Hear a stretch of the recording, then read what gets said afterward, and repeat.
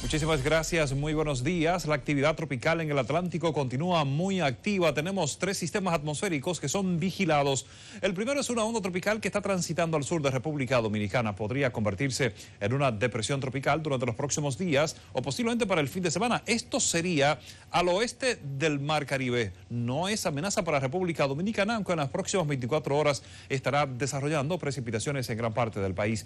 También tenemos a la tormenta tropical Teta desplazándose en el Golfo de México. En las últimas 24 horas se había tornado estacionaria.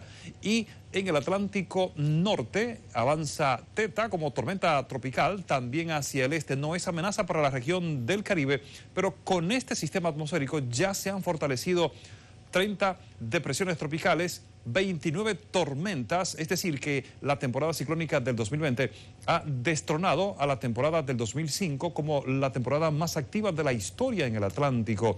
Aquella vez, en el 2005, se fortalecieron 28 tormentas y esta vez ya se han fortalecido 29 con la amenaza o el riesgo de que se pueda formar un nuevo sistema atmosférico en el Mar Caribe que podría convertirse o en la tormenta número 30 o en la depresión número 31. Las precipitaciones van a seguir en las próximas 24 horas en República Dominicana. Estas han sido las informaciones del tiempo. Regreso con ustedes.